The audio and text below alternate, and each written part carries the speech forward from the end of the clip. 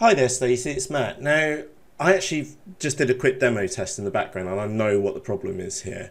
Um, just a quick point to note is that when you import products using Magmi, the thing to remember is that Magmi is known and proven to work. So it's always going to be a header which is wrong, a name's going to be wrong, or the data which is going to be incorrect. It's going to be one of those things. Okay, so we, we know that Magmi works. So the thing which I've actually been identified is that you've actually been spelled category incorrectly.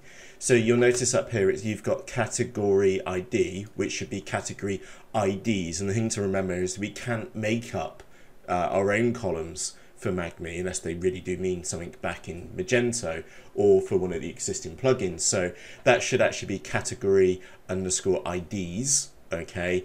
Uh, then categories here needs an E in it, just here, uh, and categories IDs, that, that's just a made up one, okay? It has to be one of the Magento or um, Magmi column headers for this to work. It won't, uh, otherwise you need to use like a, a value mapper one. And again, I'm not going to cover that with you because it gets a bit deep very, very quickly. So proof of concept, I know this works. Okay, so I'm going to scroll up and I'm going to go and download your test file. Let's go and open that up in uh, Excel. So let me just maximize that on my screen for you.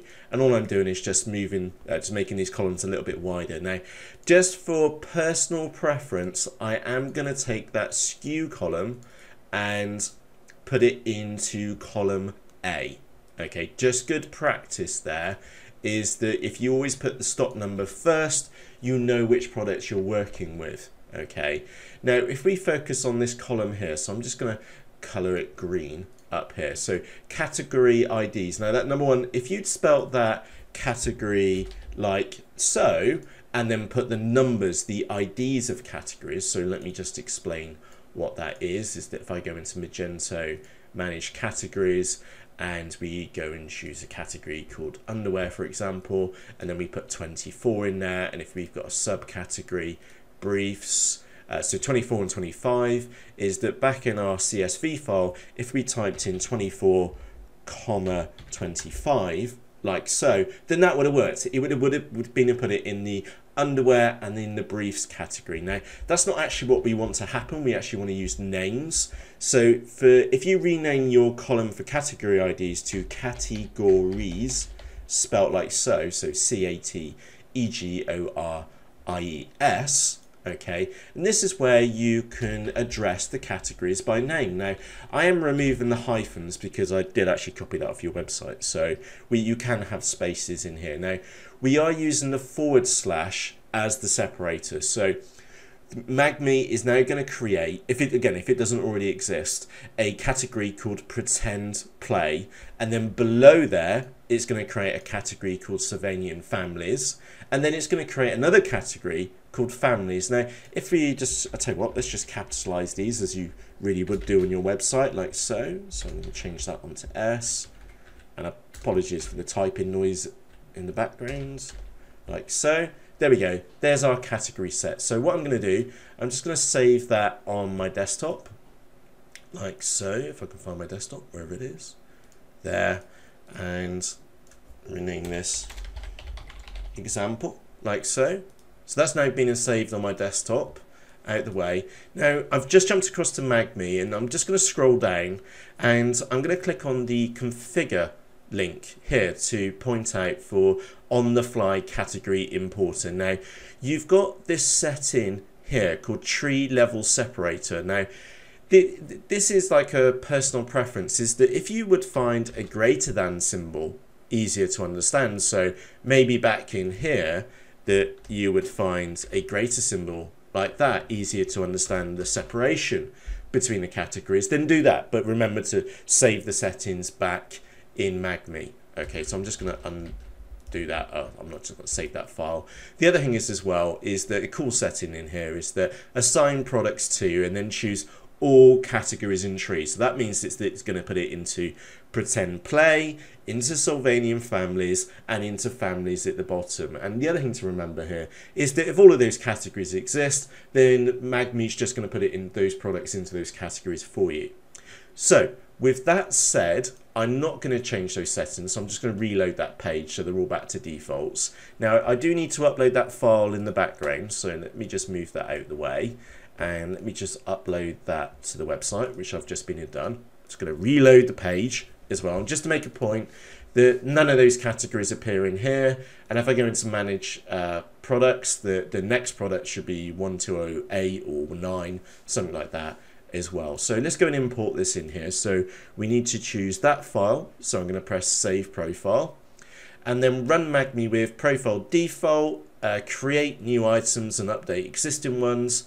Go and click import. Now I am expecting errors okay it's going to be uh, because you've got images in there which don't exist in our in, in our hosting they're going to happen so yeah there we go we've got some image errors but if we now go back to magento and then go and hit search is that there we go we've got a brand new product which has been and appeared in our system and let's go into categories because that's what we're most interested in ah look there we go pretend play Sylvanian families and families and it's been and put it into all those categories for us. And if we go into catalog and manage categories, what we'll also find is that it's now been created those categories for us as well. And of course, if we wanted to change the URL, we could do whether they're active, inactive, and so on and so forth. So, Stacy, I hope that's been and helped you. Going back to your original question, the, the actual cause to this is the header names. You can't make up your own ones. You've got to use the ones which are right for magmi. So what that means is that you can use category uh, underscore IDs with an E in it. Okay, you can also use categories as well. Now, the the for the uh, extension for the plugin for magmi that needs the one the header called categories. So let me just bring that back onto my screen a moment. Is that it's got to be that header there? It needs to be typed exactly the same as that. So C A T E G O R I E S, and then you can put your paths in there like so. Now, uh, while you're watching this, I might also point out something else which you can do while you're at it is that if you go back to the configuration settings for this one again, because I can't remember it off the top of my head,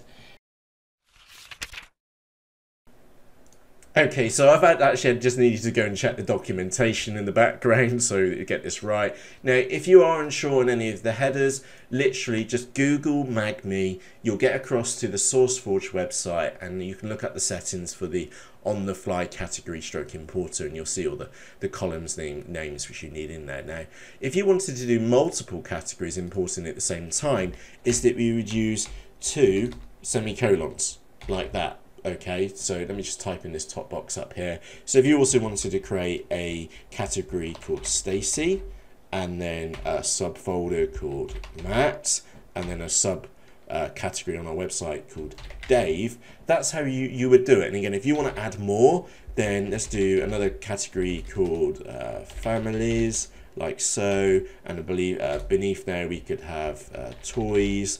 That's how you can specify multiple categories for a single product on an import and it's the double semicolon in there. So Stacy, I hope that's been and helped you and I'll catch you in the forums. Cheerios! So we hope you've been and found this video guide useful and myself, Matt, and me, Dave, we believe that to use Magento, you don't need a degree in nerd. And that's what we've exactly what we've been and done. We've been and created you over 70 full HD video guides on how to use Magento, all in plain English. And if you'd like to know more about myself, Matt, or me, Dave, and more about what we're doing at Understanding E, why not visit us at understandinge.com forward slash now. And we'll see you there. And for myself, Matt. And me, Dave. We'll see you soon.